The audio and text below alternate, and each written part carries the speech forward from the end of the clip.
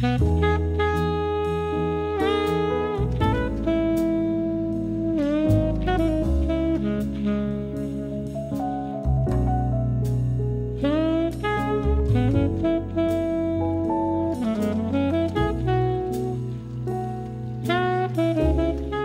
just like that, the rain has returned to Provence, which is quite nice because it's been very hot. So these little mid breaks of rain is very, very nice. We're in the city center today because I am still on the search for some clothing uh, for the wedding that we're going to be shooting in two weeks. And we had to go to Zara because I've been looking at thrift stores and I haven't found anything. And there is a certain dress code, which is beige and white or just beige. So uh, we're on the search for something. And yeah, we're just uh, taking you out on this rainy day with us and not sure what else we're going to be up to. Maybe coffee and just enjoy this rainy Friday.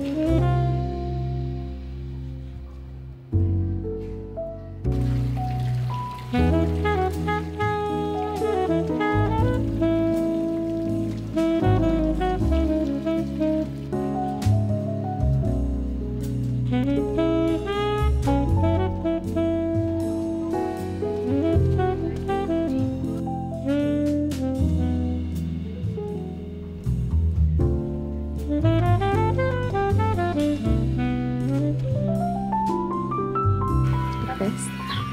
So pretty. It looks big, but oh my god, it's so cute. So how does it that? Um, we pay by kilo, so this is uh, 40 euros per kilo.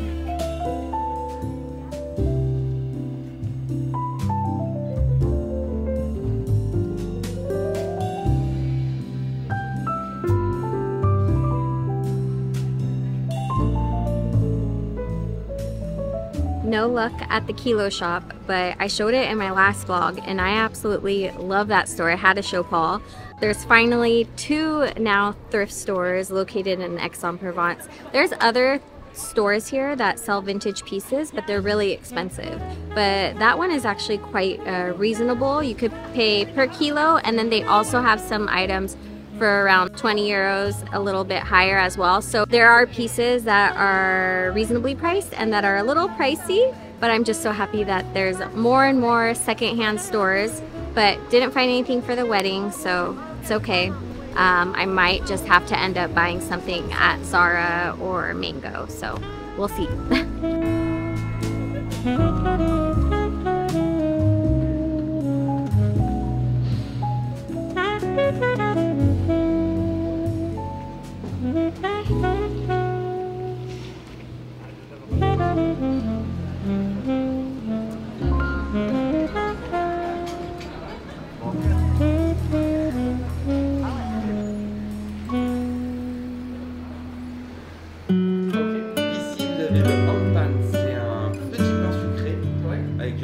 également.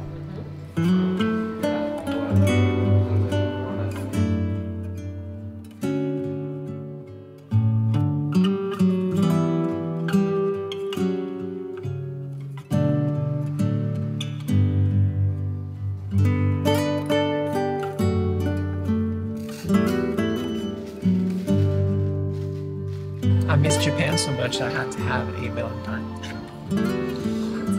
Place we found too, so Yeah. New Japanese little tea shop in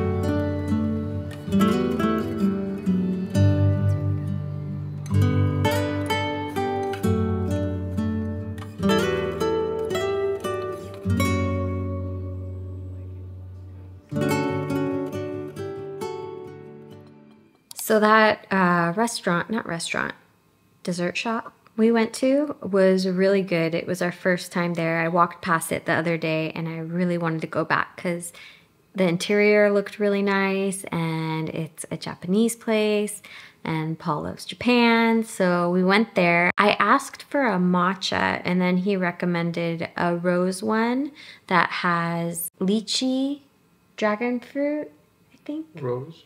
Rose. Anyways, it was delicious, the perfect temperature. The music was nice inside. There was probably two other people in there. So if you're ever in Aix and want a nice place to go try dessert, definitely check them out. It's called Maison uh, uh, Mux. Mux. And it's like a mixture. Well, they call it that because there's uh, they have this dessert that's a mixture of a cookie and mochi. And so Paul got it before we left so he could try it at home. Um, no vegan ones, but that's okay. I'll just have to salivate while watching you eat that. Oh my god, it looks so good. It's a soft cookie and it should have some sort of a mochi rice flour inside. Oh yeah.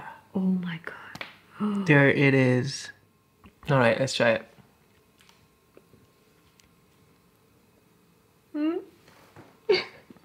Well, you can see here the mochi inside. Mmm. What do you think? You're not a big mochi fan, so No. I'm surprised you tried it. Kind of reminds me of like um, a s'mores cookie that would have like a big marshmallow in the middle, but it's not sweet. Like a marshmallow is super sweet, but this isn't. So Mmm, that sounds like my my kind of dessert. yeah, it has that like soft, chewy texture. Mm. It's all right. All right, huh? Okay. Seven out of ten. Okay, that's pretty good. Mm. And their cappuccino, did you like their cappuccino? Mm. Damn, that looks so good to me. I'm like, The cappuccino was okay, yeah. But your your matcha was was better. yeah. Okay, bye. Bye.